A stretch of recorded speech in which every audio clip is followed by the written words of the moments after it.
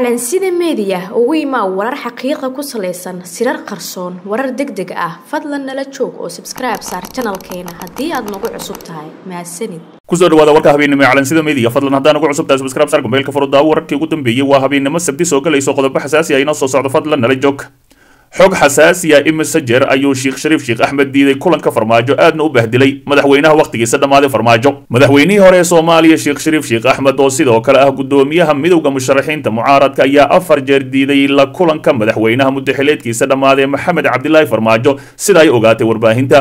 Afar jeer waxaa kulanka soo codsaday madaxweynaha wakhtigiisa dhammaaday farmaajo waxaana ugu dambeeyey codsi ka yimid madaxtooyada kadib markii ay muqdisho gashay. Xaalad dagaal oo ka dhalatay muddo kororsigii sharci darrada ahaa toddobaad ka hor saddexda goor ee hore ayaa ahaa markii la dhisay midowda musharaxiinta ku dhawaaqista madasha badbaado qaran iyo maalmo kadib markii uu fashilmay shirkii dhuusamareeb uu ka soo baxay. Madaxweynaha wakhtigiisa dhammaaday farmaajo. Madaxweyne sheekh shariif sheekh axmed ayaa laba jeer oo ka mid ahay codsiyadaani u sheegay in farmaajo uu wakhtiga ka dhammaaday islamarkaasina uusan ahayn. Madaxweyne halka labada jeer ee kalene uu sheegay in uu madax u yahay musharaxiinta mucaaradka islamarkaasina uu go'aanka golaha dhex yaallo oo asiga keligiis go'aan gaari karin maxamed cabdilaahi farmaajo madaxweynaha wakhtigiisa ka dhammaaday ayaa sheekh shariif u sheegay in uu si shaksi ahi ugu baahan yahay balse ay suurageli weysay. Rajadaas farmaajo ayaa laba jeer oo ka mid ahay codsigiisa u soo dhiibay cali guudlaabe iyo qoorqoor halka hal jeerna uu wakiil ka ahaa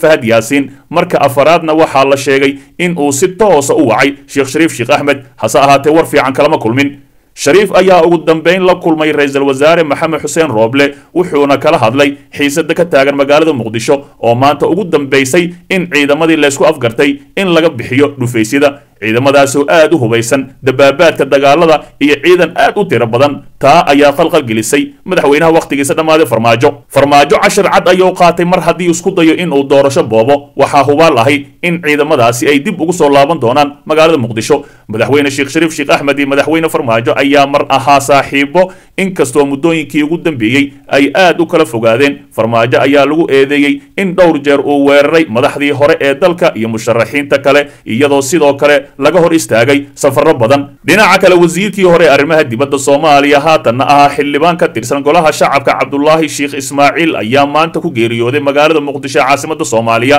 Geerida wasiirkii hore arrimaha dibadda ayaa waxaa warbaahinta u xaqiijiyey xildhibaano ka tirsan baarlamaanka soomaaliya sidoo kale qoraal ka soo baxay. Golaha shacabka ayaa lagu sheegay inuu geeriyooday xildhibaanka qoraalka golaha shacabka ayaa lagu yidhi guddoomiyaha golaha shacabka baarlamaanka federaalk soomaaliya maxamed mursal sheekh cabdiraxmaan ayaa dhammaan xildhibaanada golaha iyo guud ahaan shacbiga soomaaliyeed kaga tacsiyeeyey geeridii ku timid allah u naxariistee. Xildhibaan cabdulaahi sheekh ismaaciil oo goordhow ku geeriyooday magaalada muqdisho waxaana gaar ahaan uga tacsiyeeyey eheladii iyo qoyskii marxuum xildhibaan ayaa lagu yidhi xildhibaan cabdulaahi sheekh ismaaciil wuxuu ahaa rugcaddaa in badan qarankan u soo shaqeeyey soona qabtay xilal kala duwan cabdulaahi sheekh ismaaciil ayaa soo noqday ra'iisul wasaare ku-xigeenka ahna wasiirka arrimaha dibadda soomaaliya xilligii xukuumaddii kumeel gaarka ahayd ee uu ra'iisul wasaare ka ahaa cali maxamed geedi sannadkii ayaa waxaa sidoo kale xilka wasiirka gaadiidka u magacaabay ra'iisul wasaarihii hore ee soomaaliya cumar cabdirashiid. Sidoo kale waxa uu soo noqday safiirka soomaaliya ee dalka ruushka intii ay jirtay dowladdii dhexe ee soomaaliya. Allaha u naxariisto wasiirkii hore ahna xildhibaan fadlan dib u daaw wararkeenii hore ee calansida meediya xog xasaasi wararkii ugu dambeeyey ka bixitaanka muqdisho ciidankii badbaado qaran islamarkaasina maanta ka ruuqaansaday dhufaysyadii ay kaga jireen magaalada muqdisho. Ciidamadii ka soo horjeeda muddo kordhinta loo sameeyey madaxweynaha wakhtigiisa dhammaaday maxamed cabdilaahi farmaajo ee la magac baxay badbaado qaran ayaa la filayaa in maanta guud ahaan laga saaro dhufaysyadii ay ka samaysteen magaalada muqdisho ee caasimada soomaaliya iyadoo sawiradii u dambeeyey la soo tabinayo ayagoo sii ruqaansanaya islamarkaasina goobihii ay ka yimaadeen aadaya. Xildhibaano sanataro wasiiro ayaa halkaasi ka hadlay iyo saraakiishii ayaga naftigooda ka soo horjeeda farmaajo. Ciidamada oo shalay bilaabay inay ka baxaan waddooyinka qaar ayaa la filayaa inay maanta soo gebagabeeyaan ka bixitaanka magaalada ee gebi ahaanba laga wada saarayo ciidamada ayaa la filayaa in dib loogu celiyo xeryahooda iyo difaacyadii hore ee lagala dagaalami jiray kooxda al-shabaab oo ay horay uga soo baxeen kadib markii shalay ra'iisul wasaare maxamed xuseen rooble uu booqday goobihii fariisinka u ahaa ciidamadaasi. Afhayeenka ciidamada la magac baxay badbaado qaran gaashaanle diini rooble axmed ayaa idaacadda v o ed u sheegay in dhammaan waddooyinka muqdisho laga qaaday dhufaysyadii carada ahaa oo ay ka samaysteen waxaana magaalada muqdisho laga dareemayaa dhadhaqaaq magaalada looga saarayo ciidamadii militariga ahaa ee soo galay kol hore. Ciidamada diidan muddo kordhinta ayaa guud ahaan waxaa la geeyey waqooyiga muqdisho halkaas oo ay dhoolatus militari ku sameeyeen waxaana la filayaa inay ka sii aadaan meelihii ay markii hore ka yimaadeen. Shalay ayay ahayd markii ra'iisul wasaaraha xukuumadda xilgaarsiinta maxamed xuseen rooble uu kormeeray furista waddooyinka ku xirmay isku hor imaadyadii u dhexeeyey ciidanka ka soo horjeeda muddo kororsigii loo sameeyey madaxweynaha wakhtigiisa dhammaaday farmaajo.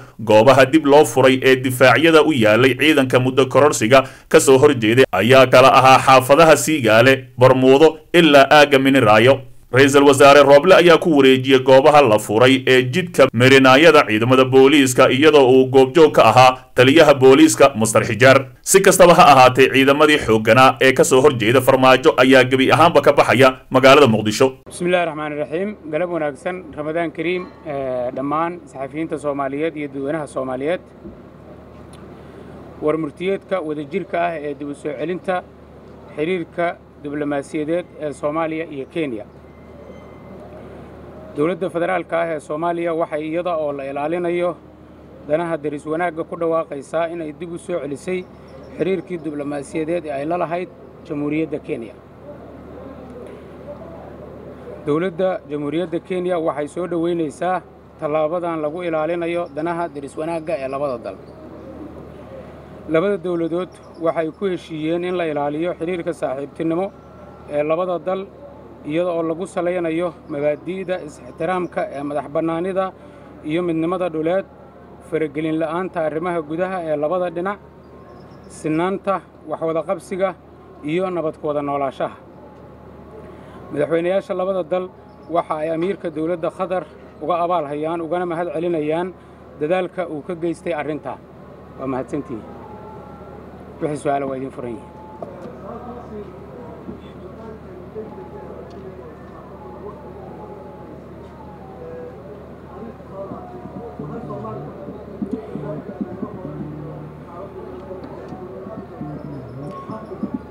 waa mahadsan tahay cabduqaadir sida aad og tahay arrintaani horta ma ahayn dooq iska yimid. Waxaad og tahay oo dadka soomaaliyeed oo dhan ay la socdeen duruufihii keenay in soomaaliya ay joojiso xiriirka diblomaasiyadeed ee kenya ay la laheed marka dowladdu waxay arrintan ku bedelatay markii la xaqiijiyey in la joojiyey layskuna afgartay in la joojiyo dhammaan ficiladii iyo muxuu ahaa arrimihii keenay in dowladda soomaaliya ay joojiso cilaaqaadka muxuu ahaa diblomaasiyadeed ee kenya ay la lahayd. Marka mar haddii dhibaatooyinkii jira ay meesha ka baxeen sida ku qoran warmurtiyeedkana laysku afgartay in lays ixtiraamo deris wanaag lagu wada noolaado danaha labada dalna laga wada shaqeeyo sidaas ay arrintu ku timi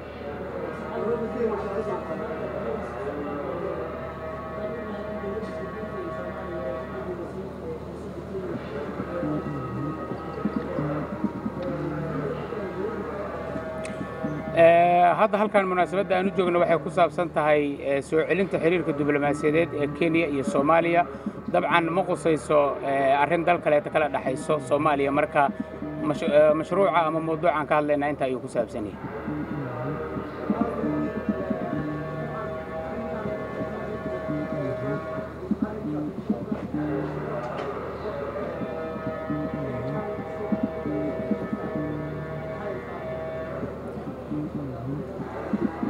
waa mahadsan tahay waa su'aal aad u wanaagsan. Sida lala wada socdo qadiyadda baddu waxay ahayd qadiyad soo socotay iyada oo xidhiirka soomaaliya iyo kenya ee diblomaasiyadda uu jiro oo uu shaqaynaya ayay soo socotay.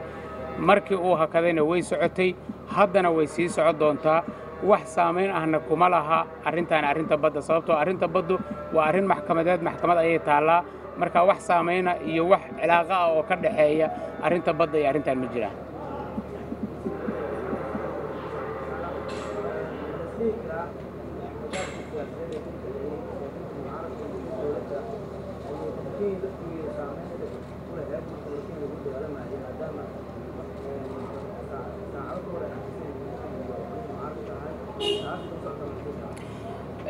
maya arrintaani waxaan ka hadlaynaa waa xiriirka kenya iyo soomaaliya ka dhexeeya kenya iyo soomaaliya waa laba dal oo deris ah oo wax badan ay ka dhexeeyaan duruufo ayaa keenay in xiriirkooda uu istaago. Duruufihii ayaa heshiis laga gaaray. Sidaas ayaana heshiiskii lagu soo celiyey. Arrimaha gudaha ee soomaaliya waa arrimo u yaalla dowladda soomaaliya iyo dadkeeda iyo iyo dowladnimadeeda u yaalla. Ee ma aha arrimo meel kala quseeya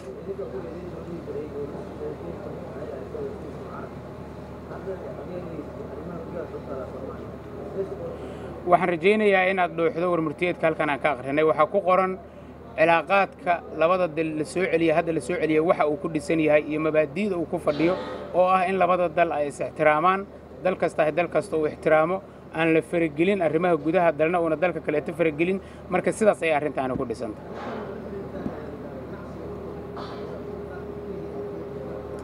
waa mahadsan tahay. Waa su'aal kaloo wanaagsan. Dabcan hadda halkan maanta waxaan uga dhawaaqaynaa waa in cilaaqaadkii diblomaasiyadeed la soo celiyey waxyaabo badan oo u baahan in laga sii wada hadla ayaa jira oo sidaad sheegtay arrimaha ganacsigu ay ka mid yihiin arrimaha socdaalku ay ka mid yihiin arrimo badan muxuu ahaa ay ka mid yihiin oo u baahan in wadaxaajood dheeri ah laga yeesho. Marka wakhtigooda ayay imaan doonaan. Munaasabaddan waxay ku saabsan tahay cilaaqaadkii diblomaasiyadeed ee istaagay in la soo celiyey wixii kaleeto oo ka dambeeyana marka labada dowladood xiriirkoodii diblomaasiyadeed uu bilowdo ayaa laga wada hadli doonaa. Dabcan iyadoo dal kastahay uu danta dadkiisa iyo dalkiisa